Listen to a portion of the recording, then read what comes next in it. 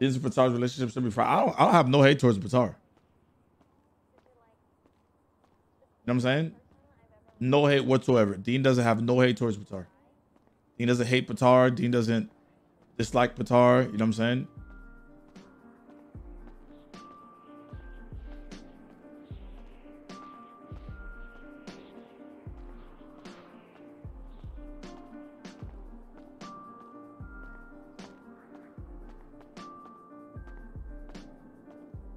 Oh yeah, whichever one of the MDMA boys step out of line, I'm still gonna shoot him. I dare him. I triple dog dare him too.